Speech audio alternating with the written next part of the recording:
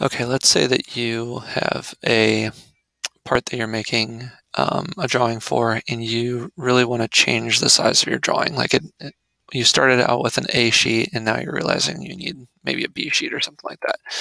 Well, in order to change your settings, what you're going to do is you're going to click on this little button over here and you'll see this comes up. And if I double click on sheet one up here, which I can rename anytime I want to, um, it tells me a few things the scale. Right, so currently everything's set to a one-to-one scale. I could change that if I wanted to. All right, so I could do a one to two scale. Everything would change, uh, and so on.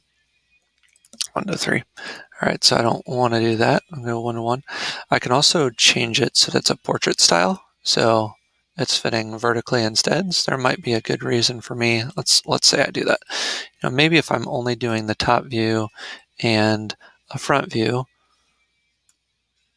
maybe it's important for me to just have more space vertically. So I could then just use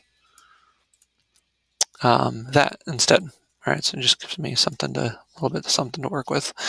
Um, also, if I go back to those settings, um, I can choose like a bigger style sheet. So if I go to a B style, all right, now I have a lot more room. Oops. Um, have to make sure to hit the check mark when I choose it. B style, check. All right, so now I have a lot more room to work with, or I could zoom in on the parts a little bit more, use a different scale. Uh, so if I go back and change the scale, maybe it's a, two to one scale.